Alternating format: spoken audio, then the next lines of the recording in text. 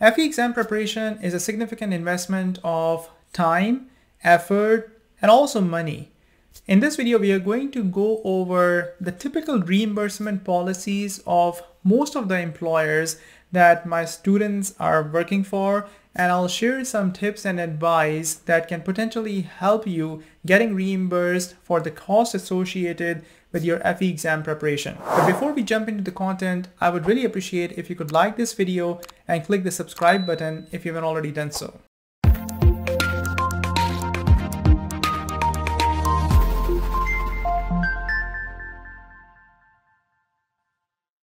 So most of the students that enroll in my course are already working full-time. And there's a smaller percentage, I would say about 20 to 30% of the students that enroll into the course that are either in the final year of their studies because they want to fast track their exam preparation, they want to enter the workforce with a EIT certificate, or they have just graduated and they're looking for work.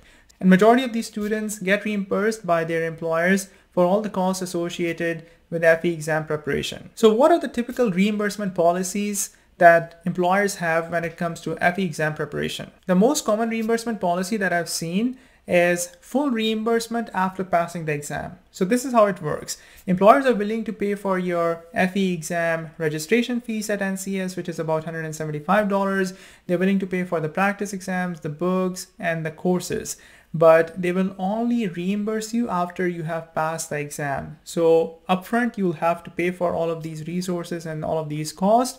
And only after you pass the exam, then you basically submit your expense report, attach all the receipts for the books that you purchased from Amazon, from NCEES, the receipt for taking the exam, and even the cost of the EIT certificate by for registering with your local state and the course that you might have taken. But they will only reimburse you after you have passed the exam. So upfront, you're paying and then down the road, they simply reimburse you.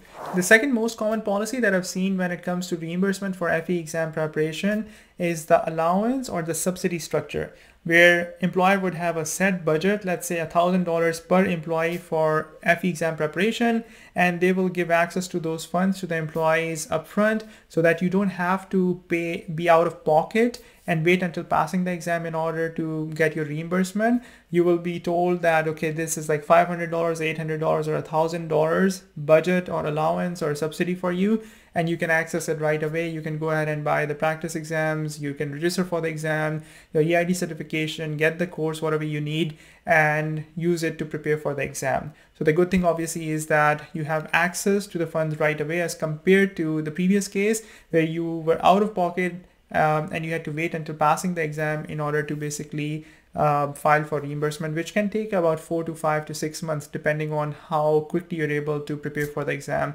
and pass the exam. So the first reimbursement policy is still the most common one, but every now and then I do come across the second reimbursement policy, which I believe is more generous as compared to the first one. The third reimbursement policy that I see a little bit rarely though is a 50% or 70% or 80% cost covering. So your employer will reimburse you, but not for the whole amount of the cost that was associated with your FE exam preparation, but they will say that, okay, I'm going to cover about 50 or 60 or 70% and up to a certain limit in some cases. And then you can go ahead and use the resources that you need. So in this case as well, if they're putting a cap on the percentage that they're reimbursing you for, generally what happens is that you have to again pass the exam first and then pay for all the expenses upfront. And then once you pass the exam, then you get the reimbursement. And the fourth and final reimbursement policy that I see very, very rarely is zero reimbursement, where the employer basically tells the employee that this is your own personal project. You have to spend your own time, your effort, and all of your own money in order to get this done. Now, when an employer, especially in a hot job market, sends this message to the employee, then the employee would take it with a grain of salt because it tells the employee that the employer is not interested in the employee's career growth.